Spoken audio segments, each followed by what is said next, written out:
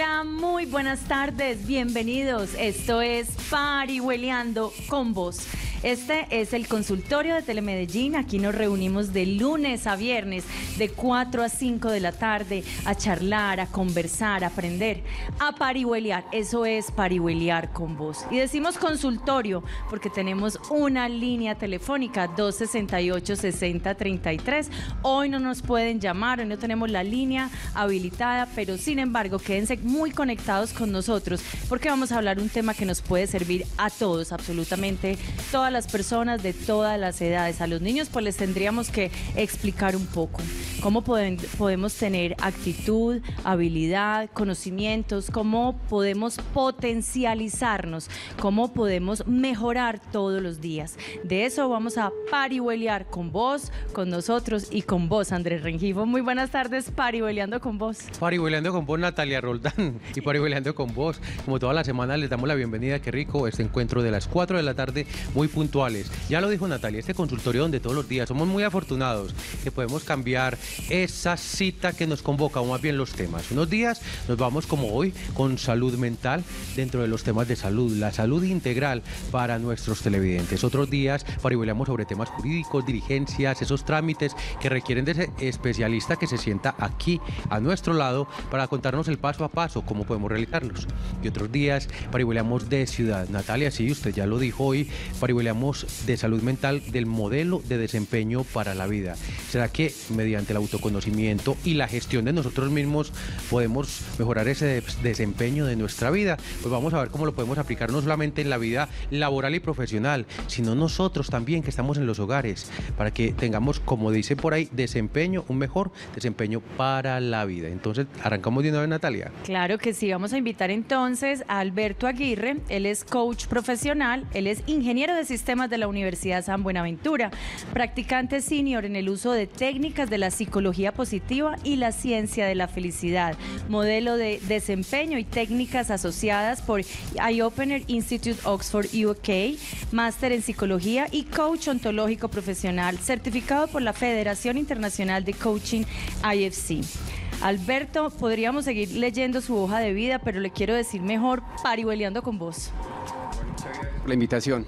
Bueno, Alberto, vamos a empezar explicando por qué un ingeniero, un ingeniero de sistemas se vuelve coach. ¿Qué es eso? Explíquenos un poquito. Bueno, eso se puede responder de una manera muy sencilla. La ingeniería de sistemas, a pesar de que la ejercí, no le hablaba a mi corazón. Y cuando algo no te hable a tu corazón, pues sencillamente no puede estar ahí presente en mi vida. Y ahí fue cuando yo decido emprender este viaje de de trabajar en mí, de trabajar en, el reconocimiento de lo que yo soy y desde esa experiencia, pues fácilmente ya en ese descubrimiento puedo yo disponerme a compartir mi experiencia. Bueno, Alberto, el tema que usted va a parihuelar con nosotros hoy eh, consta de un modelo de autodesempeño, pero parte de una investigación que además no es solamente suya, usted siempre habla en plural, es que la realizó con otro tipo, con otros profesionales o de pronto deriva de otras investigaciones que se han dado anteriormente sobre ese modelo de desempeño. ¿Y en qué consiste? Bueno, eh, sí, muy interesante tu pregunta. Realmente lo que nosotros hicimos con un equipo que tenemos en Oxford, Inglaterra, es precisamente investigar comparar los que mejor tienen actitud con los que menos, con los que no tienen actitud, o los, con los que más tienen energía y con los que no tienen energía, o, o los que son más felices y los que son menos felices. Personas del común. Lo hicimos, esa investigación fue muy focada, lo hicimos a todos los niveles de las organizaciones. Fue, una, fue focalizada en organizaciones, varios focus group en más de 68 países. En más de 68 países, o sea que los hizo en todos los continentes o Latinoamérica, Europa, ¿cuáles? Europa principalmente. Muy bien, bueno, explíquenos algo también. Usted no sabe, usted como título tiene un título de coach, pero ahorita me estaba contando que usted se considera arquitecto. Explíqueme un poquito por qué arquitecto y no coach. Bueno, yo acuñé el término arquitecto humano porque finalmente todos queremos buscar, construir un sueño, todos, todos soñamos algo. Y es muy sencillo cuando uno lo ve en la vida real, cuando las personas se disponen a contratar un arquitecto para que te ayude a construir tu casa. Pero siempre estamos enfocados afuera, entonces yo pensaba, ¿por qué no enfocarnos adentro? Y ahí es cuando yo descubro que qué tan bueno poder compartir con alguien que tenga ese interés genuino en acompañarme a construir lo que realmente quiero yo, mi casa interior. Alberto, como lo escuchó al inicio del programa aquí en Parihuelando con vos, siempre le apostamos a ir paso a paso, a que nos ayude a entender de esa manera, de coquito, como tanto nos gusta también expresarlo aquí en Parihuelando con vos. Y Natalia se lo había planteado antes de, hay algunas expresiones que nos ayudarían a entender la metodología. Empecemos la primera parte, metodología basada en la psicología positiva y la ciencia de la felicidad. Desglosemos las dos. Empecemos con psicología positiva porque Natalia ahorita va a plantear algo más sobre la ciencia de la felicidad. Bueno, la psicología positiva es una ciencia que nace a raíz del enfoque que tenía tradicional, el enfoque de la psicología tradicional.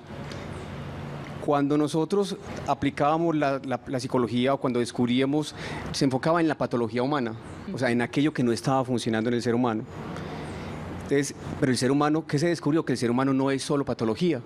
Y ahí es cuando realmente los investigadores, los científicos empezaron a preguntarse, bueno, si el ser humano no es solo patología, tenemos que empezar a aprovechar todo ese gran potencial que tiene el ser humano. Y ahí es donde nace precisamente la psicología positiva.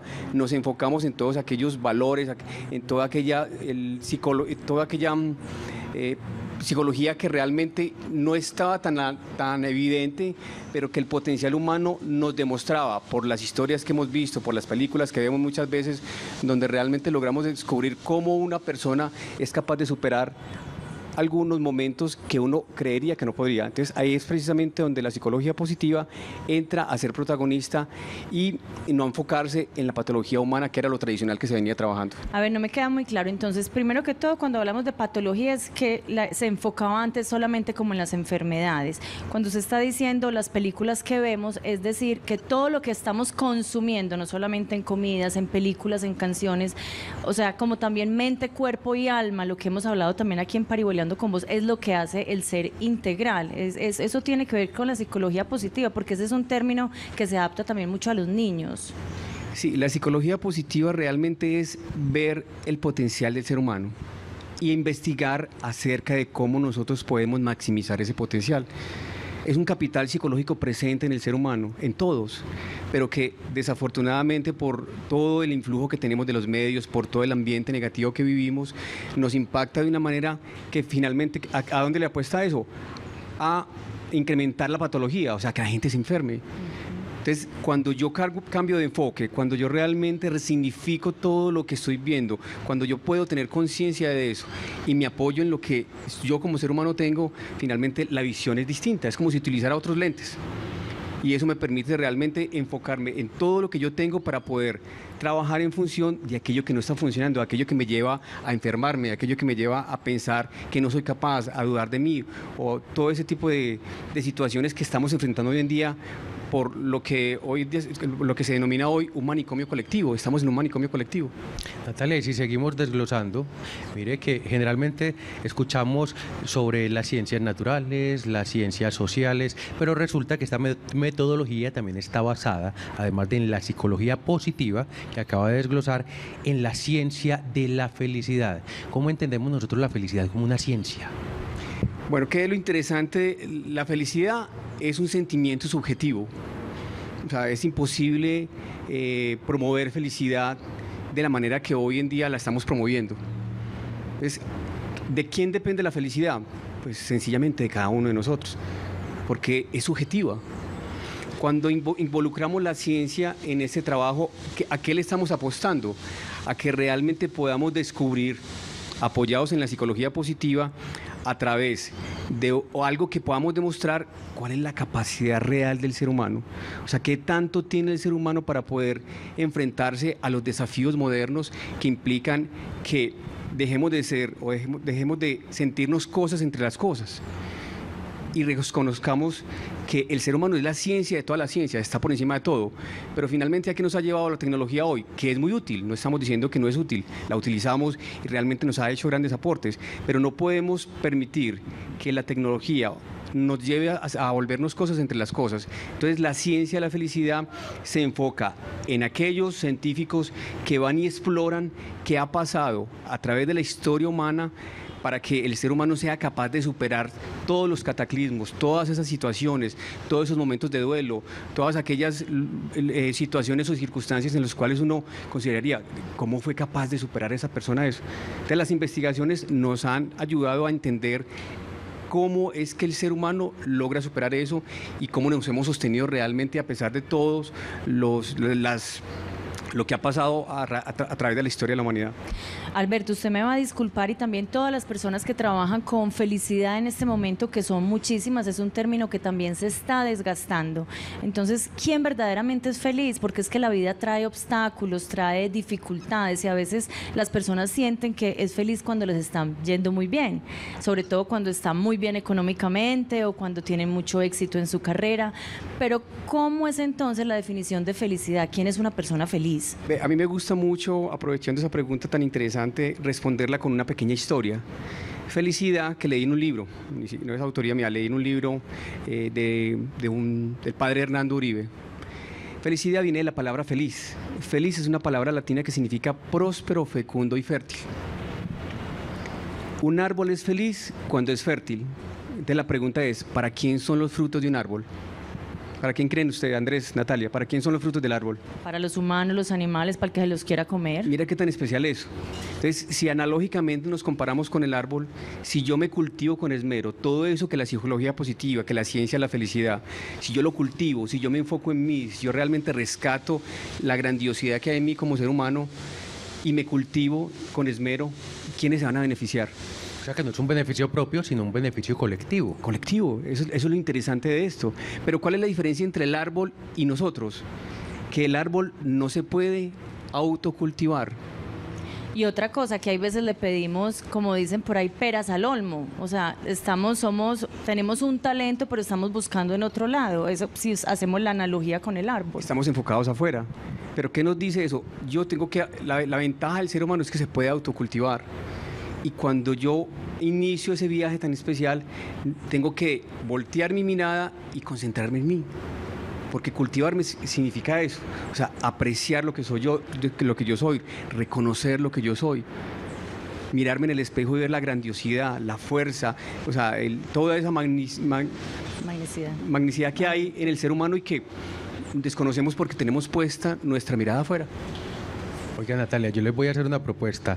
Me gusta mucho esa analogía con los árboles. ¿Qué tal si ahorita seguimos aplicando la metodología y hablamos de cómo nos cultivamos y cómo esos frutos que vamos recogiendo no solamente son para nosotros mismos, sino para trabajar en colectivo? Porque incluso si seguimos desglosando todavía este modelo basado en la psicología positiva, en la ciencia de la felicidad, hay unas intervenciones que son individuales y colectivas. No sé si es tiempo ya de hablar de esas intervenciones. Yo creo que en unos minuticos nos dará más bien como la oportunidad de que las, las podamos desglosar, Natalia. Yo les voy a proponer que sigamos hablando sobre todo de por qué hacer un plan de acompañamiento y por qué se debe realizar un plan de acompañamiento para buscar la felicidad, para cultivarnos y sobre todo les voy a hacer una invitación a ustedes a ser prósperos, fecundos y fértiles. Pero vamos a seguir parihueleando con vos después de este corte a mensajes institucionales.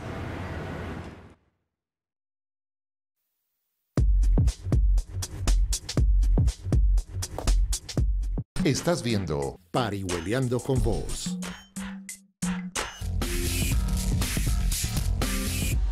Y seguimos parihuelando con vos. Hoy parihuelamos de salud mental sobre el modelo de desempeño para la vida. Y lo hacemos con Alberto Aguirre, coach profesional. Bueno, Natalia, ahorita fue la oportunidad de leer toda esa experiencia, una hoja de vida interesante que de verdad, eh, ojalá ustedes hayan tenido acceso a ella en el, al principio del programa. Y si no, pues cuando repitan ese programa en www.telemedellín.tv, buscan también eh, programas parihueleando con vos. Ahí está toda la información. Y estamos hablando de este modelo de autodesempeño que consiste en una metodología de psicología positiva y la ciencia de la felicidad. Y nos ponía un ejemplo, Alberto, en el segmento anterior, donde nosotros podríamos hablar, por ejemplo, de los árboles, que los, los árboles eh, deben ser prósperos, fecundos y fértiles. Entonces, no solamente lo hacen para ellos mismos, sino que en este caso, como no son autónomos, ellos no se pueden cultivar, pues esos frutos se dan precisamente para quienes los puedan recoger. Yo creo que esa analogía nos sirvió mucho, pero retomemos entonces el centro. Este acompañamiento que ustedes realizan identifica cinco componentes. ¿Qué tal si empezamos a hablar de los componentes? Natalia, usted tiene ahí también contribución, convicción, cultura. Vamos a arrancar en orden como los tenemos planteados. Sí, pero usted me deja hacer una preguntita antes. es que yo quería saber ¿Por qué? Porque la gente quiere hacer un plan de acompañamiento, porque están sintiendo la necesidad de cultivarse, están entendiendo, o quienes le llegan a usted antes de empezar con ese plan de acompañamiento, o la gente que le llega a usted, ¿por qué le llega? ¿O está en crisis todo el mundo? Una de las cosas que uno identifica en las sociedades modernas es que todos estamos llenos de buenas intenciones. Todos queremos todo ya. O sea, nos volvimos en una sociedad inmediatista. Entonces, cuando hablamos de un plan de acompañamiento, implica eso, unos cambios de paradigmas y unos eh, empezar a trabajar en nuevos hábitos. Entonces, el ser humano no se edifica solo. Cuando ustedes me preguntaban desde la ciencia, la felicidad y la psicología positiva, precisamente uno de los aportes que nos dan ellos en sus investigaciones es que el ser humano necesita compartir, se edifica con otros. O sea, solos no vamos a lograr nada. Entonces, desde la conciencia colectiva me permite a mí cambiar el enfoque. Y cuando yo cambio de enfoque, tengo la posibilidad de poder pasar de, la, de las buenas intenciones cuando hago autoconciencia y cuando paso de las buenas intenciones, o sea, tengo autoconciencia, genero un compromiso y desde ese compromiso la idea no es quedarnos simplemente con buenas intenciones, sino a la acción. Entonces, el plan de acompañamiento precisamente consiste en eso. Yo no puedo hacer nada por ti Natalia ni por ti Andrés pero si tú te dispones y haces autoconciencia de que necesitas eso, de que estás consciente de que hay una actitud, un comportamiento o algo que, están, que, está, que está siendo perjudicial para tu vida, un comportamiento que, que realmente no es saludable para tu vida ni para tu entorno, en tu trabajo, con tu pareja, con tus hijos, en todos esos ambientes sociales que interactuamos. Entonces, realmente eso implica que tú, desde esa disposición, vayas a autoconciencia, compromiso acción. Se nos va a olvidar, sí, que es muy común. ¿Por qué? Porque somos inmediatistas y estamos. Lo que logramos en un plan de acompañamiento es desconectarnos del piloto automático. Cuando yo logro, veo el mundo distinto, pero terminamos aquí, se nos olvida. Todo lo importante del plan de acompañamiento es que mientras que nosotros logramos generar esos cambios o esos hábitos en nuestras vidas, tengamos la posibilidad de apoyarnos en alguien para poder ser mucho más consistentes en el resultado que estamos buscando. Bueno, Alberto, yo ya le había planteado sobre esos cinco ejes o cinco componentes de la investigación, pero también voy a hacer el alto en el camino en concordancia con la pregunta que le hizo Natalia. Ya le preguntó quiénes, porque yo creo que aquí nos toca aterrizar mucho también para que los televidentes nos puedan seguir en ese compartir que usted tiene hoy en Parihueleando con vos. Y según lo planteó Natalia, eh, pues, claro, hay, hay de pronto eh, un contexto de las personas que llegan donde usted la cuestión es, y se lo voy a complementar, como usted ya nos dijo, que parte de un eh, autoconocimiento de pronto de que no está funcionando bien, eso quiere decir que las personas ya deben conocer exactamente qué, está, qué no está funcionando o simplemente son personas que de pronto están desorientadas, que no saben esa búsqueda de la felicidad que realmente es lo que los tiene, quizás, no sé, si atormentados, ansiosos, preocupados, tristes, no sé. O sea, ¿qué personas, y aquí le complemento la pregunta a Natalia también porque creo que todavía nos queda pendiente que nos dé esa respuesta para los televidentes, entonces ¿en qué momento acuden a ustedes, por ejemplo, para que les hagan todo este esquema y trabajen con ellos en ese acompañamiento? Y venga, yo creo que esto sería más fácil con cafecito, ¿o no? Claro. Ay, qué delicia. Bueno, aquí le vamos a servir. Adelante, Alberto. Muy bien. Bueno, eh, muy interesante tu pregunta. Realmente el mundo está lleno de síntomas psicosomáticos. Las personas estamos llenas de síntomas psicosomáticos. O sea, ¿qué son esos síntomas psicosomáticos? Aquellos comportamientos o actitudes que me llevan a no estar en paz conmigo mismo. Entonces, estamos, yo les decía al principio que nos volvimos cosas entre las cosas. El ser humano es la ciencia de todas las, de todas las ciencias y nos volvimos cosas. Se nos olvidó lo humano que somos. Entonces, cuando tú me preguntas a mí quién debería disponerse realmente a trabajar en un plan que le permita a él cambiar de enfoque y eh, encontrar su propósito. Pues yo creo que hablamos de todos. Todos realmente necesitamos hacer una pausa en el camino y dejar de mirar hacia afuera y empezar a mirar hacia adentro. Y, y, retomo otra vez la analogía del árbol. O sea, el árbol va a ser feliz, próspero y fecundo. O sea, un árbol va a ser feliz cuando es fértil pero ese árbol necesita de cuidado, necesita de buena tierra, necesita de todo un acompañamiento que finalmente va a permitir que esas condiciones le den a él la posibilidad de dar sus frutos. Entonces, de la misma manera nosotros, si yo tengo un entorno apropiado si yo tengo un grupo de amigos que me permiten, que están enfocados en, en, en todos sus pensamientos positivos. Si yo me salgo de esos entornos que hoy en día son tan comunes en los cuales lo que existe es el negativismo, el pesimismo, aquellas situaciones que me llevan, lo que decían los abuelos, no sé si a ustedes les tocó, ¿para dónde va Vicente? ¿Para dónde va la La gente? gente, Y el que entre la Miranda. algo se le pega. Entonces lo que necesitamos realmente es un cambio de enfoque que nos permita ge- generar ambientes donde estemos nutriéndonos, donde esa agua que está llegando al árbol, donde esa, esa luz que le está llegando al árbol, donde ese cuidado permita que, que se nos note que nos estamos cultivando. Pero para la diferencia del árbol en nosotros es que depende única y exclusiva de mí. Yo no puedo hacer nada por ti, Andrés. Insisto en eso. Si tú te dispones y realmente le das continuidad a eso, y si Natalia se dispone y le da continuidad, los frutos se van a ver. Y el más beneficiado es él y por ende los otros. Entonces, la felicidad que es servir. Servir. Yo creo que hay una palabra clave y hay veces nos dicen, muchas veces nos dicen ser más para servir mejor. O sea, tenemos que mejorar para servirle a la sociedad. Que nosotros mejoremos no es para nosotros solitos, sino también para ayudarle a los demás, lo que usted nos estaba describiendo. Vamos ahora sí a empezar con los componentes de la investigación y le quiero eh, pedir que me explique qué es la contribución. Es lo que estamos hablando, o sea, yo mejoro para los otros. Bueno, contribuir sí, tiene toda la lógica que acabas de, de describir. Es el esfuerzo individual y colectivo. Entonces, ¿qué hago yo? ¿Y qué hago con la persona o con el equipo que trabajo? Entonces, es importante, cuando hablamos del término contribución, nosotros lo llamamos las 5 Cs. El término, el término contribución es parte de esas 5 Cs. Porque la segunda C es la convicción. La convicción, exacto. Entonces, enfoquémonos en la contribución. Cuando yo quiero contribuir, si ustedes miran el modelo, en el centro del modelo, ¿quién está?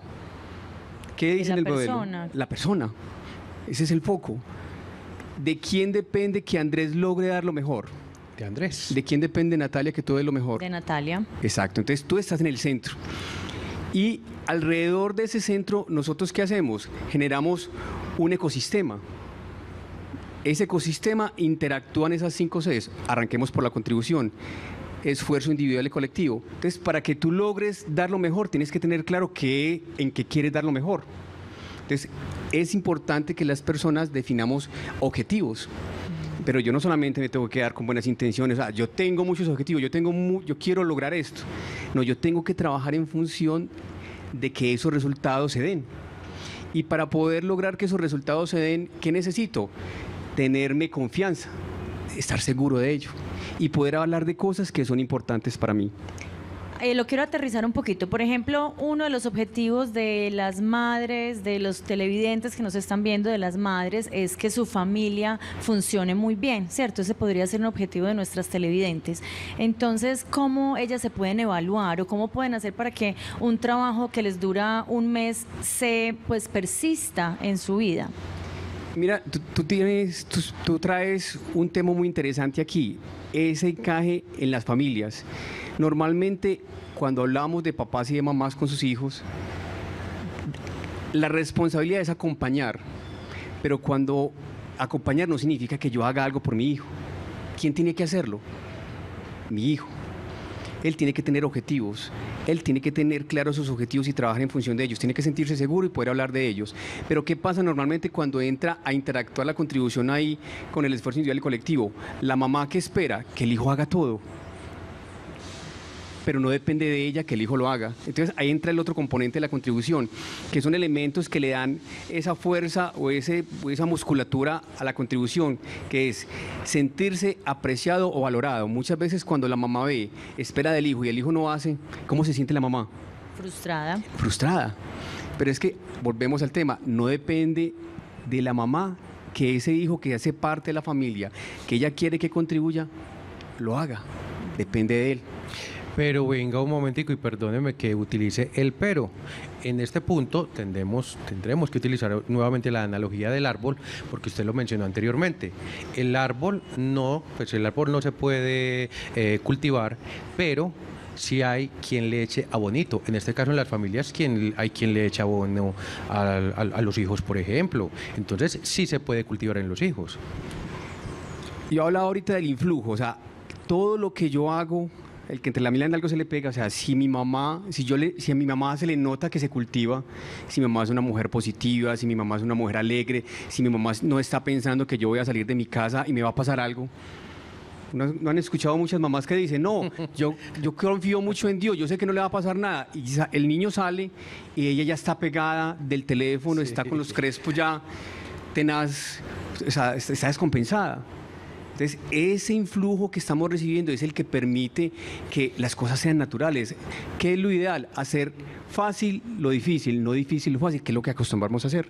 Entonces, el entorno me, ayuda, pero no, sigo insistiendo, no depende de la mamá, por muy buen ejemplo, por mucho que se le note, que el hijo haga lo mismo que ella pretende que hace, porque pues, la responsabilidad es del hijo. Bueno, nos vamos para la segunda palabra entonces, convicción.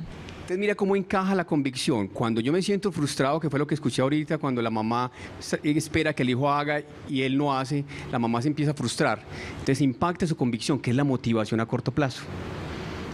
Es esa chispa que yo digo que, que enciende el fuego y que permite que la gente se disponga, tenga la energía como para enfrentar las cosas. Y en la convicción hay unos elementos muy interesantes que son la resiliencia, que es un término para los que cono- nos conocemos, para los que no conocen el término, es aquello que me permite en una situación o circunstancia que me deforma, volverme a acomodar. Entonces, si yo, se me impacta mi motivación, se impacta mi resiliencia y quedo vuelto un 8. Para el caso de la mamá, queda vuelto un 8. Entonces, ahí cuando ya queda vuelto un 8, todo lo que tenga que ver, lo que depende de la convicción, como la eficiencia y la eficacia, tiempo y recursos, empiezan a alterarse. Y ella deja, deja de entender que lo que está haciendo tiene un impacto positivo, que son los elementos que le dan valor a la convicción. Bueno, y pasemos a la cultura. Bueno, si hablamos, si encajamos esto en un ambiente familiar, cuando hablamos de la cultura, uno siente que, que ese hijo no encajó. La cultura es sentido de encaje, pero bueno, ¿yo qué estoy haciendo mal? Que mi hijo no está, eh, no está aquí como con- conectado con lo que realmente promovemos nosotros como papás en nuestro hogar. Entonces, pasa uno a dejar de entender o dejar de apreciar mejor los valores que se viven o que se construyen en la casa parece ser que no tuviéramos claro qué, nos corresponde. O sea, un hijo tiene una obligación, una responsabilidad. La mamá tiene una obligación, una responsabilidad. Cada uno tiene unas responsabilidades. Y hay veces se nos empieza como a, a, a anuar el tema como si no tuviéramos claro realmente cuáles son mis funciones como hijo y cuáles son funciones como papá. Y eso finalmente nos lleva a sentir que no hacemos parte de ese hogar. Sentir, yo no, yo no debía haber nacido en esta casa, no, como dice uno por ahí.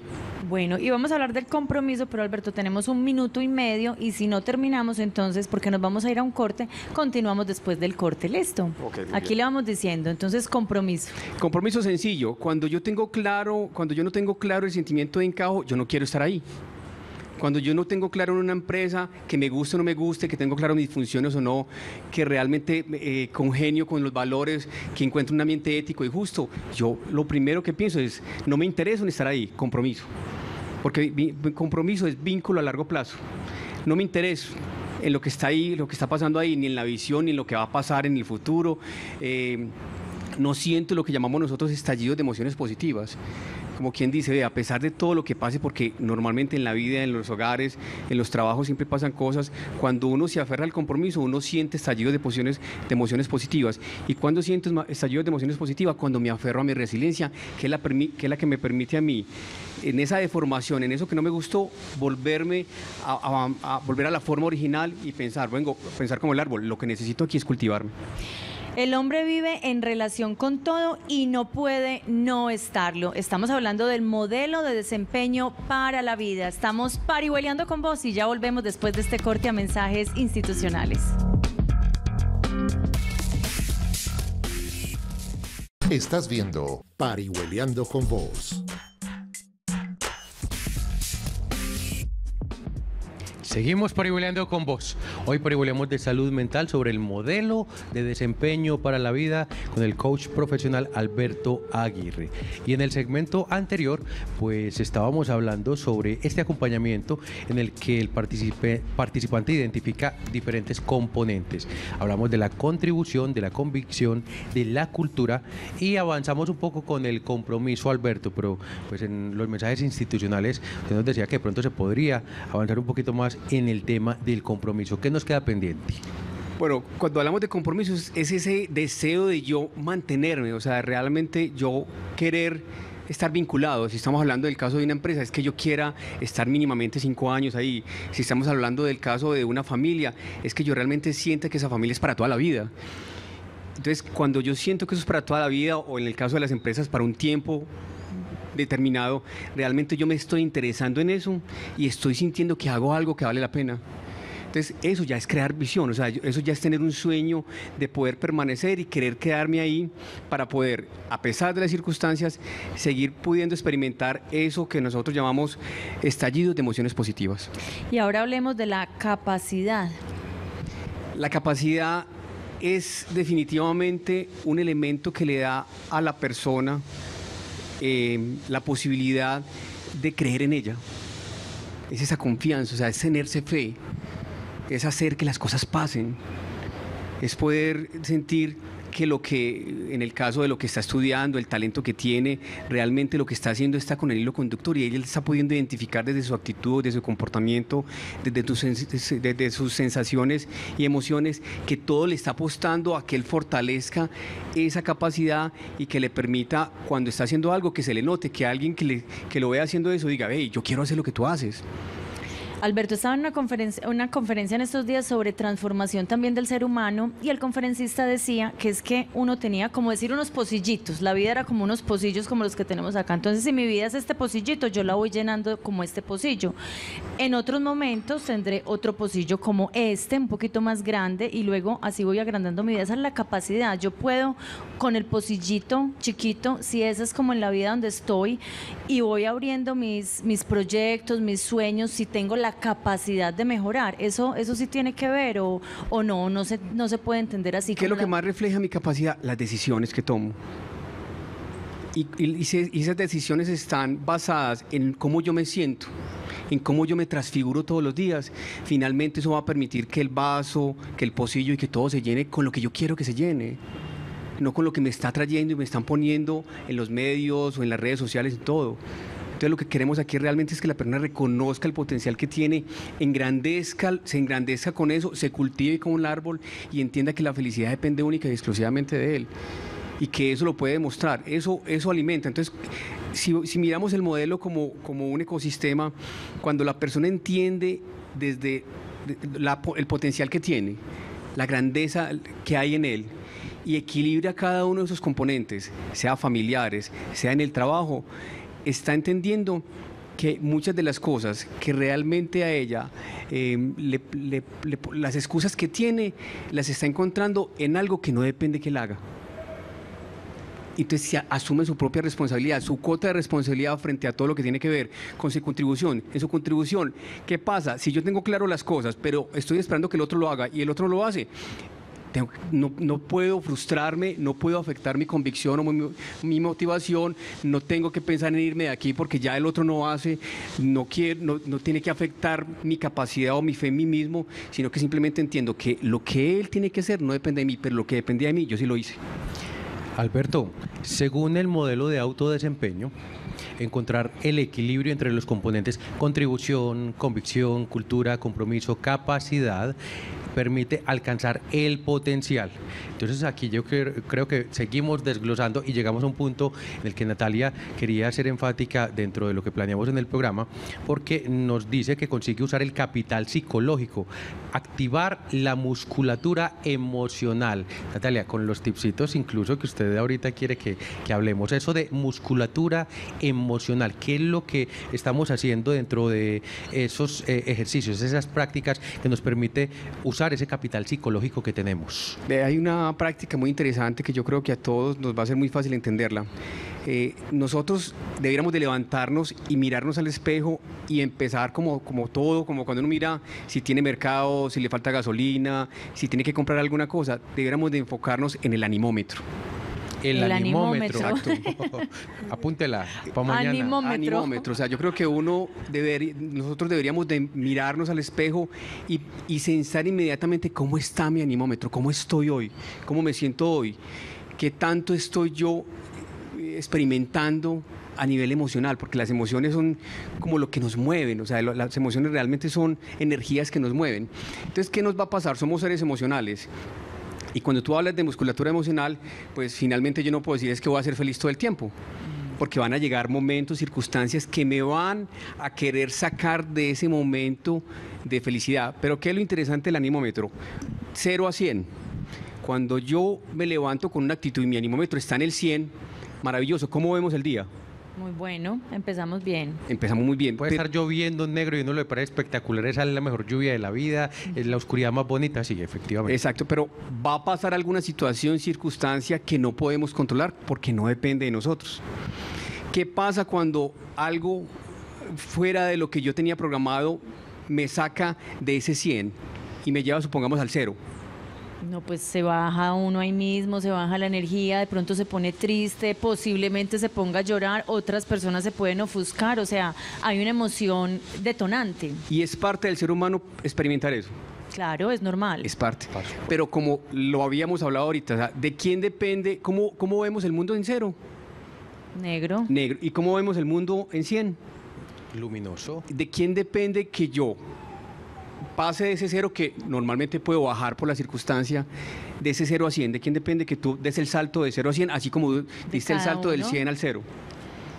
De Andrés, de. Natalia Entonces y de un- cada uno de los televidentes. Entonces es una decisión y cuando yo decido saltar del 0 al 100, así como la circunstancia me, me atrajo del 100 al 0, definitivamente la decisión se sostiene en lo que yo escojo y decido para mi vida.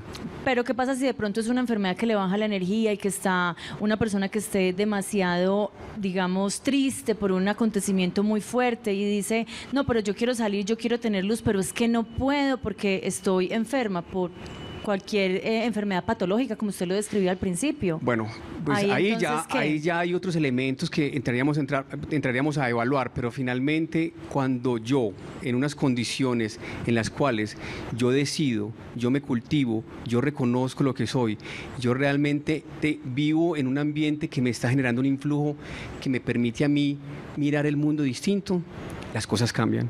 Cuando hay una patología, pues hay expertos para eso. O sea que es como el poder de decisión entonces de decir, listo, tengo la patología y tengo a los médicos, pero tengo un poder de decisión sobre mi actitud, mis conocimientos, mis habilidades para mejorar mi entorno, así sea en el momento más difícil. Para que lo entendamos mejor, puede pasar una situación que me lleve a mí a, a una tristeza. ¿Qué pasa si yo me enfoco en un pensamiento triste, re- repetitivo, todo el tiempo? Se me vuelve un resentimiento. Sistemáticamente yo estoy pensando en todo aquello que me llevó a la tristeza. Cuando yo pienso sistemáticamente en lo que me llevó a la tristeza, pues ¿en dónde se va a desencadenar eso? En una depresión. ¿Quién alimentó esa depresión? Ahí ya no hay patología, la patología la generé yo. Pero también pueden haber algunos desequilibrios hormonales o endocrinos que permitan que lleven a esa persona a una situación que para eso ya hay un experto que, le va, que le va- la va a acompañar en eso. Usted habla de equilibrio y para el equilibrio también explica que tiene que tener uno orgullo, confianza y reconocimiento. Agrupémoslo y explíquenos ese equilibrio basado en estas tres palabras. Entonces, mira, el modelo de desempeño, cuando miramos las 5 Cs, es un ecosistema que todas esas se dependen de ellas mismas, o sea, una impacta a la otra. Cuando yo equilibro las, las 5 Cs, finalmente estoy logrando el máximo desempeño y alcanzar el potencial. ¿Qué significa eso? Que yo puedo, que yo estoy en el 100. En el 100, independiente de lo que pase, yo me sostengo en el 100, entonces yo puedo utilizar mis habilidades y mis destrezas, puedo vencer esos desafíos, puedo eh, lograr trabajar en, en función de los resultados que quiero. Y ahí es cuando estamos hablando de que la persona se siente feliz. Si es el caso del trabajo, en el trabajo. Si es el caso de, de poder tener una buena relación con su pareja, con su pareja, porque identificó lo que depende de ella. Y cuando yo identifiqué, inmediatamente equilibró. Y si el otro identifica y se, y se da cuenta y se, y, se mira en el espejo en el modelo, también va a equilibrar. Entonces los dos equilibraron. Entonces la contribución mejora, la convicción mejora, la cultura mejora, el compromiso, su capacidad. ¿Y por fuera qué hay? Orgullo, reconocimiento y confianza. ¿Qué pasa con el orgullo, reconocimiento y confianza? El orgullo y la confianza son directamente eh, proporcionales. A medida que yo me siento más orgulloso, siento más confianza. A medida que siento más confianza, siento más orgullo, me siento más orgulloso. Y el reconocimiento normalmente se da con los años. En la medida en que yo soy muy bueno, que yo cultivo y que se me nota más ese talento que tengo, pues voy a sentir que las personas valoran y reconocen más en eso, en mí eso. Alberto, yo quiero hacer otro alto en el camino porque me tiene preocupado algo. La cuestión es que sé que obviamente todas estas búsquedas nos llevan a unos momentos específicos o más bien estamos partiendo de unos momentos específicos, unas condiciones que estamos viviendo como seres humanos, pero también creo que nosotros los televidentes debemos tener una claridad que usted nos deje un contexto aquí. Está bien que el animómetro siempre busque estar en 100, pero también se vale que haya momentos en los que no está en 100 y que nos oyemos, como decimos por ahí, cuando está en el 50, cuando está en el 30. Es que hay que normalizar todos los momentos, las situaciones, las emociones también. Obviamente, lo que usted dijo en un momento, pero creo que pasó muy rápido por ahí. Claro, eh, hay que tratar de volverlas a llevar al 100%, eso es clarísimo. Pero también creo que es una presión muy fuerte la que nos deja una metodología que todo el tiempo nos está hablando de que pase lo que pase, debemos estar al 100. La, la metodología no pretende que tú o sea, realmente forzarte a que estés en ese 100, no. La metodología se convierte en una forma autoconsciente de tu identificar cuando, se te, cuando te desequilibras. Y cuando tú eres autoconsciente, cuando tú identificas cómo, realmente qué circunstancias te están desequilibrando, es mucho más fácil volver a equilibrarlo. Entonces, ¿qué es, ¿cuál es el desafío grande con nosotros los seres humanos? Que podamos ser conscientes todo el tiempo. Yo, yo hago esta analogía muy sencilla, como volvámonos en el Waze personal. Cuando te pase eso que me acabaste de decir que es muy humano y que no estamos, o sea, realmente no hemos sido educados en un ambiente donde las personas se dispongan a autocultivarse. Cuando se habla de eso en los colegios, cuando se habla de eso en las universidades, no se habla de autocultivo. Entonces, cuando yo no tengo claro eso, pues es muy fácil caer donde va Vicente, para dónde va la gente. Pero cómo ser conscientes todo el tiempo. Hablemos entonces rápidamente de la conciencia y cómo ser conscientes. ¿Cómo ser conscientes, Natalia? ¿De quién depende estar consciente todo el tiempo? Es obviamente que de cada persona, pero es que muchas personas vivimos en piloto automático. Bueno, entonces, ¿qué tienes que hacer cuando vives en piloto automático? No eso sé, es lo que esa es la queremos que saber, sabemos. eso es lo que queremos que usted nos diga. Cuando, tener- cuando estamos en piloto automático, ser consciente de que estoy en piloto automático. Y es bueno, porque si, si hacemos la analogía con un piloto, hay momentos en que él no necesita estar atento a todo lo que está pasando. Pero ¿qué pasa en el momento en que necesita to- tomar otra vez las riendas del avión? Lo asume. Lo mismo con nosotros. En el momento en que yo realmente pueda estar tranquilo de que las cosas están acorde con las expectativas que yo me generé cuando me levanté y- o en el trabajo, con mi familia, con mi pareja, yo voy a estar en piloto automático. Pero en el momento en que una emoción, circunstancia o situación que no depende de mí vaya a trastornar eso, pues finalmente, ¿quién tiene que asumir el control de eso? Cada uno, cada uno debe mejorar, transformarse, ser consciente todo el tiempo, respirar, pausar, meditar, cultivarse. Creo que de eso estamos hablando hoy en Parihueliando con vos, de cómo mejorar, cómo transformarnos, cómo tener un mejor desempeño todos los días. De eso estamos parihueliando con vos y ya volvemos después de este corte a mensajes institucionales.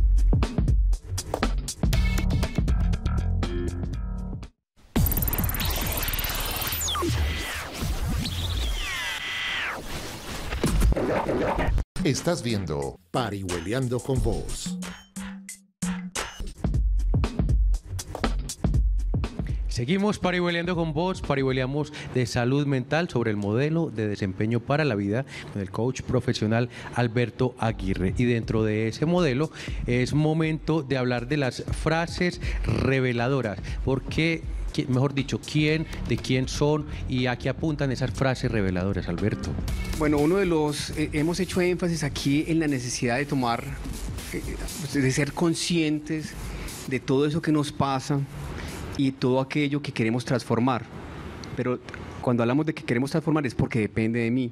Entonces, cómo yo realmente me apoyo en, esos momentos en que quiero otra vez volver a tomar el control, en, algo que me revele que efectivamente, como les decía ahorita, no, no alcancé a darles el ejemplo del Waze. El Waze, ¿qué pasa cuando nosotros vamos para un punto y nos desviamos?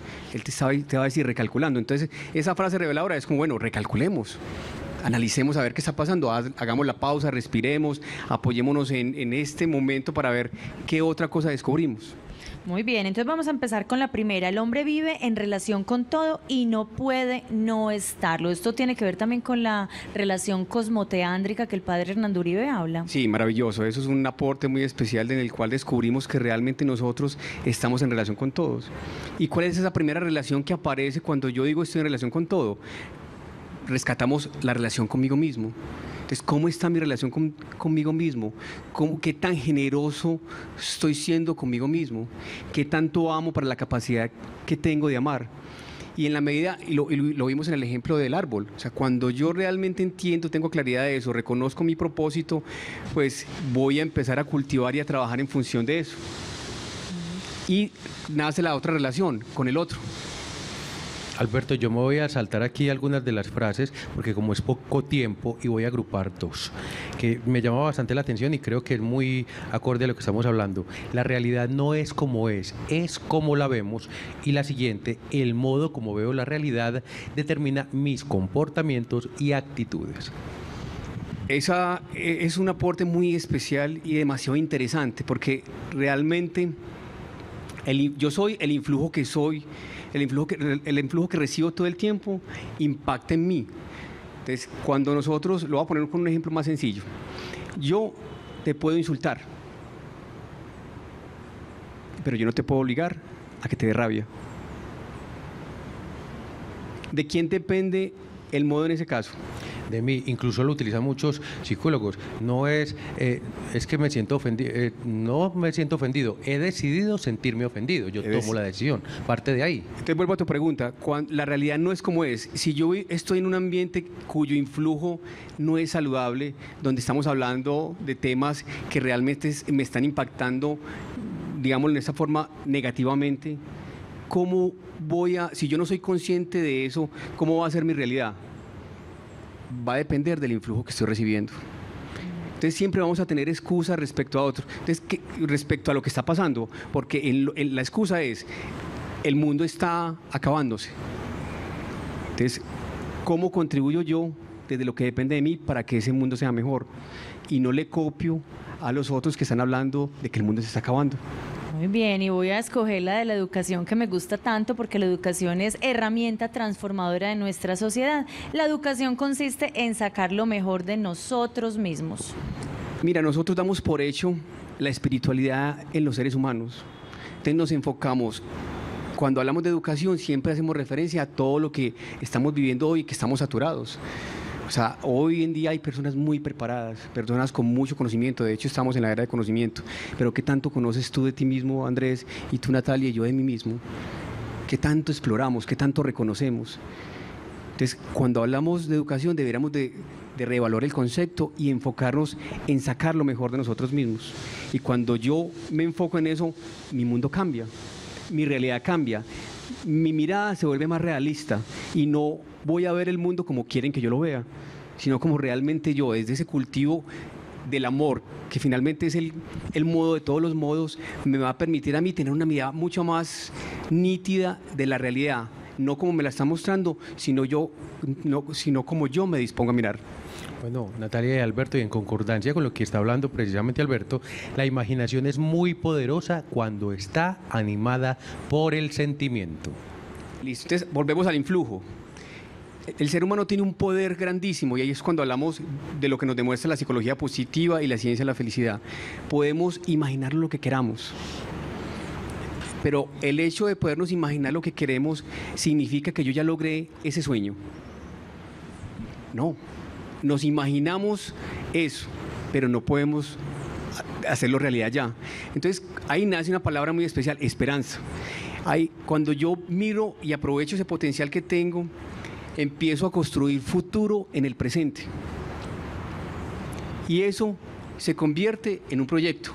Que a su vez es un ejercicio de esperanza. Yo espero realmente ese ser humano maravilloso que ustedes están queriendo promover con todas esas invitaciones que nos hacen. Yo quiero, yo quiero cultivarme de la manera que voy a poder ser como ese árbol. Entonces, ¿en dónde me enfoco? En el aquí y en la ahora, para que yo pueda ese sueño que estoy construyendo desde el cultivo, lograrlo.